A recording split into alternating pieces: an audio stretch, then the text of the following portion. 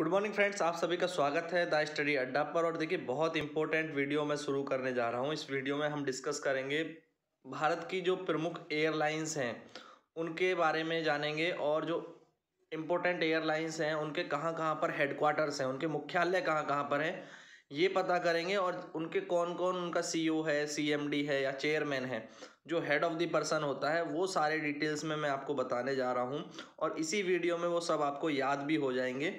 तो जल्दी से आप इस वीडियो से जुड़ जाइए और शेयर कर दीजिए अपने सभी दोस्तों को, ताकि ये वीडियो ज़्यादा से ज़्यादा लोगों तक पहुँच सके। तो जितनी भी एयरलाइंस हैं, भारत में प्राइवेट एयरलाइंस हैं, जो भी गवर्नमेंट की एयरलाइंस हैं, उनके जो भी छोटे छोटे रीजनल एयर एयरलाइंस हैं तो वो कहाँ से अपना संचालन कर रही हैं, उस सबको जो है बताता हुआ मैं चलूँगा। तो जैसे आप देख सकते हैं कि कुछ एयरलाइंस के नाम मैं आपको बता देता हूँ, और भी एयरलाइंस हम डिस्कस करेंगे। जैसे एयर इंडिया है एयर इंडिया एक्सप्रेस है इंडिगो है स्पाइस जेट है, ठीक है? और इंडिगो है air Asia Vistara Pawan Hans limited तो ये सब एयरलाइंस हैं और इन एयरलाइंस के बारे में हम देखने वाले हैं कहाँ इनका हेडक्वार्टर है, कौन अभी इनको रन कर रहा है, इनके सीईओ कौन है चेयरमैन कौन है। तो चलिए स्टार्ट करते हैं जल्दी से इस वीडियो को और सबसे पहले आ जाते हैं हम एयर इंडिया पे, जो हमारी सबसे पहली जो एयरलाइन है, जो गवर्नमेंट की एयरलाइन थी, अभी इसका निजीकरण होने जा रहा है। तो एयर इंडिया जो है, ये इसका हेडक्वार्टर कहाँ पर है? तो सबसे पहली चीज़ आती है एयर इंडिया का हेडक्वार्टर कहाँ पर है? तो एयर इंडिया का हेडक्वार्टर है दिल्ली के अंदर, ठीक है? इसका अगर मैं शुभांकर की बात करूँ, जो इसका जो लोगो है तो वो महाराजा है। ये आप देख सकते हैं, महाराजा इसको लोगो होता था। और अभी इसके सीएमडी हैं राजीव बंसल। तो एयर इंडिया के सीएमडी हैं राजीव बंसल। और दिल्ली में, नई दिल्ली में इसका हेडक्वार्टर है, महाराजा इसका लोगो है। तो ये भारत की पहली एयरलाइन है। गवर्नमेंट के अंडर थी 1951 से ही। ठीक है गवर्नमेंट इसको कंट्रोल कर रही है। अब इसका निजीकरण होने जा रहा है। इसकी कई सारी ब्रांचेस भी बन गई हैं, वो हम आगे देखेंगे। तो कौन कौन से इसकी ब्रांचेज हैं? उसके बाद दूसरी जो एयरलाइन है इंडिगो इंडिगो एक प्राइवेट एयरलाइन है, ठीक है? इंडिगो जो प्राइवेट एयरलाइन है, इसकी जो थीम क्या है? ये थीम मैं आपको याद करा देता हूँ। थीम क्या है? On time hassle free affordable on time hassle free affordable ये इसकी थीम है। हेडक्वार्टर कहाँ है? गुरुग्राम में, ठीक है? गुरुग्राम हरियाणा में। और इसके जो सीईओ हैं, वो है राहुल भाटिया। इसके सीईओ कौन है? राहुल भाटिया इसके सीईओ हैं। तो ये इंडिगो है। इंडिगो का लोगो आप देख सकते हैं। ठीक है, इस तरह का इसका लोगो है। नेक्स्ट एयरलाइन की मैं बात करता हूँ। ये एयर इंडिया का ही जो है एक ब्रांच है एयर इंडिया एक्सप्रेस कोरियर वगैरह ले जाने की सर्विस है। तो ये एयर इंडिया की ही ब्रांच है एयर इंडिया एक्सप्रेस तो इसका जो हेडक्वार्टर है, वो कहाँ पर है? इसका हेडक्वार्टर है कोच्चि, केरल में। और इसके सीईओ हैं प्रदीप सिंह खरोला। इसके सीईओ हैं प्रदीप सिंह खरोला। ये आपसे पूछ सकता है, इसकी अगर थीम पूछी जाएगी आपसे तो इसकी थीम है सिंपली प्राइजलेस थीम क्या है? सिंपली प्राइजलेस तो ये डिलीवरी वगैरह के जो सेक्टर हैं, जो कि एयरप्लेन के थ्रू जो डिलीवरी सर्विस होती हैं, उसमें ये काम करती है। ठीक है? तो अब दूसरी एयरलाइंस है स्पाइस जेट ये एक प्राइवेट एयरलाइंस है स्पाइस जेट स्पाइस जेट का पहले जो लोगो होता था, वो इस तरह का लोगो होता था, जो ऊपर ये लोगो दिखाया है। और नीचे ये अभी जो इसका लोगो है, वो कुछ इस तरह का है। ठीक है? तो पहले इनकी थीम होती थी flying for everyone flying for everyone ये इसकी थीम होती थी। अभी जो इसकी थीम है, वो है हॉट, ठीक है, रेड हॉट स्पाइसी। ये इसकी जो है थीम है, रेड हॉट स्पाइसी। ठीक है?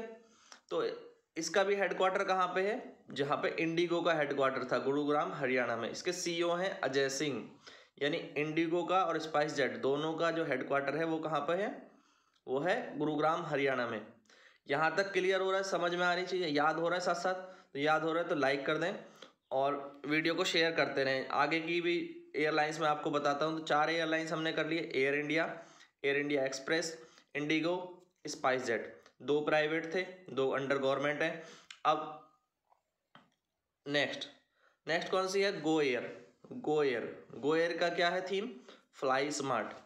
Go Air की थीम है फ्लाई स्मार्ट। इसका हेडक्वार्टर कहाँ पर है? इसका हेडक्वार्टर है मुंबई में। सीईओ कौन है? सीईओ है कौशिक खोना। कौशिक खोना। ये इसके सीईओ हैं। तो गो एयर का हेडक्वार्टर है मुंबई में और इसके कौशिक घोष जो हो गए सीईओ और इसकी थीम हो गई फ्लाई स्मार्ट ठीक है? तो ये भी एक प्राइवेट एयर एयरलाइंस है। नेक्स्ट एयरलाइन की मैं बात करता हूँ, वो है एयर एशिया एयर एशिया जो एयरलाइंस थी, ये मलेशिया की एयरलाइंस थी। उसकी इंडिया में जब ब्रांच खुली तो टाटा के साथ इन्होंने मर्ज किया। तो टाटा के साथ इन्होंने जॉइंट अलायंस बनाया और उसके साथ अलायंस बना करके एक जॉइंट वेंचर यहाँ पर खोला, जिसका नाम तो वही है जो इसका मलेशिया में नाम है एयर एशिया, मलेशिया, यहाँ पर एयर एशिया, इंडिया हो गया है। ठीक है? तो इतनी बात क्लियर हो रही है। एयर एशिया मलेशिया से ही एयर एशिया इंडिया जो है, ये इनका जॉइंट वेंचर है टाटा के साथ। इसका हेडक्वार्टर कहाँ पर है? बेंगलोर, कर्नाटक में इसका हेडक्वार्टर है। ठीक है? बेंगलोर, कर्नाटक के अंदर इसका हेडक्वार्टर है। इसके चेयरमैन है एस रामादुरई। एस रामादुरई इसके चेयरमैन हैं। ठीक है? तो ये लोगो आप देख सकते हैं इसका लोगो है एयर एशिया का।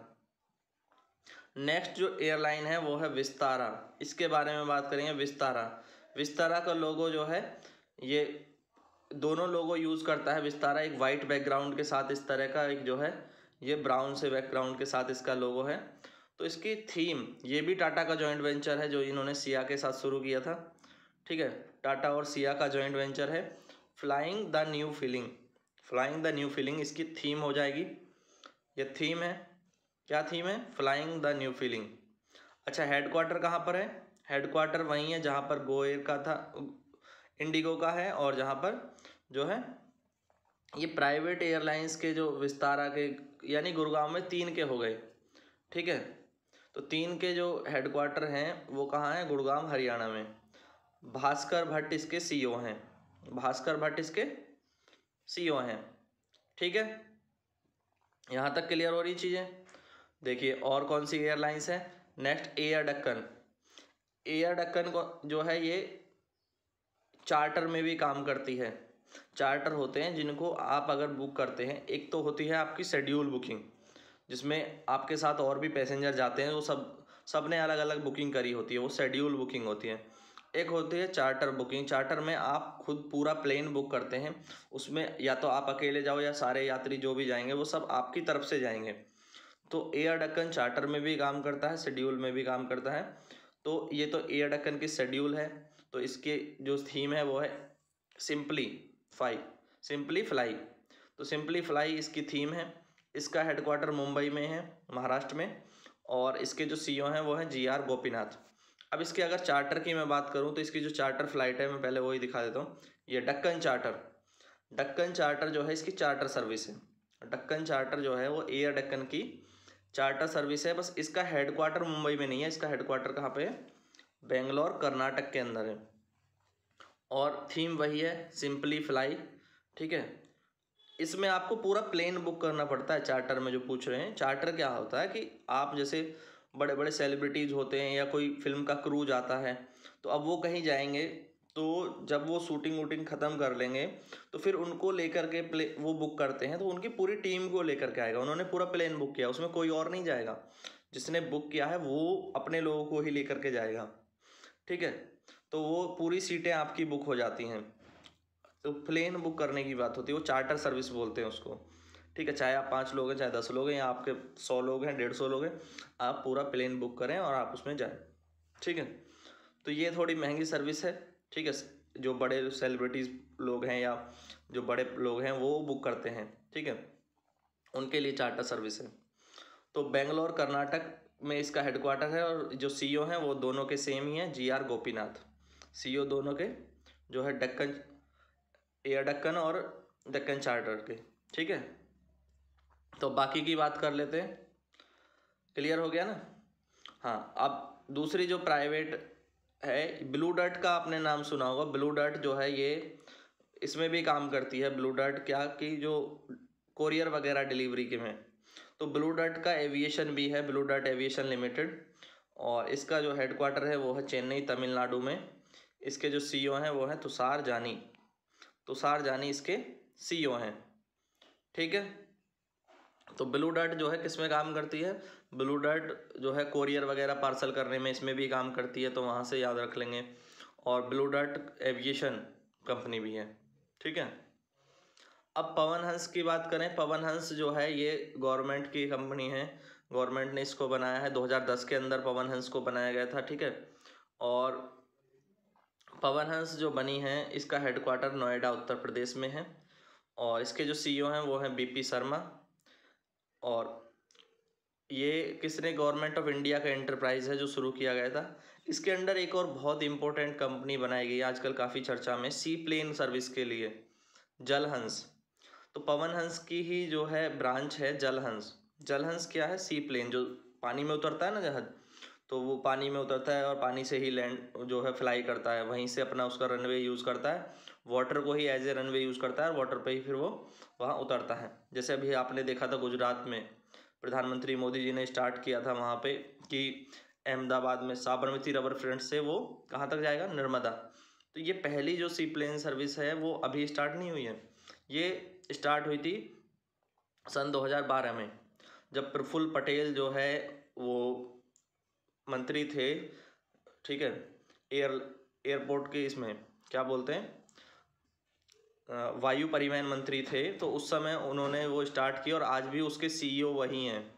ठीक है, अभी मैं आपको आगे डिस्कस करूँगा। तो जल हंस जो सर्विस है, ये 2012 में स्टार्ट हुई थी और इस, ये पहली कंपनी है जो अंडमान निकोबार में हेडक्वार्टर देखो मैं आपको दिखा देता हूँ। हाँ। चलिए, पहले इसी की बात कर लेते हैं। तो ये पहली कंपनी है जो भारत की जो सी प्लेन सर्विस प्रोवाइड करती है। तो सी प्लेन सर्विस प्रोवाइड करने वाली पहली कंपनी कौन सी है? जल हंस जल हंस का हेडक्वार्टर था पोर्ट ब्लेयर अंडमान में। वहीं पे है और प्रफुल्ल पटेल, इसके जो हैं, अभी भी सीईओ हैं। ये उस समय जो है, मंत्री थे इस क्या बोलते हैं, हमारा, जो एयरपोर्ट का, जो एयरलाइंस को मैनेज करने वाला डिपार्टमेंट है, मंत्रालय है, उसमें, ठीक है? तो विमान सेवा मंत्रालय में ये हमारे मंत्री थे और इसके बाद जो है, ये जलहंस की जो सर्विस है, ये शुरू में, अंडमान में शुरू की गई थी। और वहाँ पे सी प्लेन जो है, ये सर्विस देते थे। अभी हाल फ़िलहाल में हमने देखा कि इन्होंने कहाँ पर एक रूट शुरू किया है, अहमदाबाद, साबरमती, रबर फ्रंट से लेकर के नर्मदा, सरदार सरोवर बाँध तक, जहाँ पर कि सरदार वल्लभ भाई पटेल की मूर्ति है और वहाँ तक इनकी सर्विस जो है, वो शुरू हो गई है। वहाँ से एक जहाज़ उड़ेगा, वहाँ तक जाएगा, वहाँ से उड़ेगा और फिर साबरमती रिवर फ्रंट तक आएगा। तो अभी हम बात कर रहे थे डक्कन चार्टर की, वो कंप्लीट हो गया। अब आते हैं एलियांस एयर एलियांस एयर जो है, ये क्या है? इसका थीम है कनेक्टिंग इंडिया ये भी एयर इंडिया का ब्रांच है, ठीक है? ये एयर इंडिया का ही एक ब्रांच है एलियांस एयर और जो कि इसके भी जो सीईओ हैं, वही हैं प्रदीप खरोला, जो एयर इंडिया एक्सप्रेस के भी सीईओ हैं, प्रदीप खरोला, और हेडक्वार्टर इसका दिल्ली में ही है। एलियांस एयर भी एक एयर इंडिया का ही ब्रांच है। ठीक है? नेक्स्ट है ट्रू जेट जो ट्रू जेट है, ये रीजनल एयरलाइंस है, ठीक है? रीजनल एयरलाइंस है, इसका हेडक्वार्टर हैदराबाद में है और हैदराबाद, आंध्र प्रदेश के अंदर इसके सीईओ हैं विशोक मानसिंह और थीम है truly friendly truly friendly regional airlines भी हमारे देश में कई हैं रीजनल एयरलाइंस जिनमें कि एक ट्रू जेट है और भी एक एयरलाइंस थी मैं बताता हूँ आपको, जैसे ये है।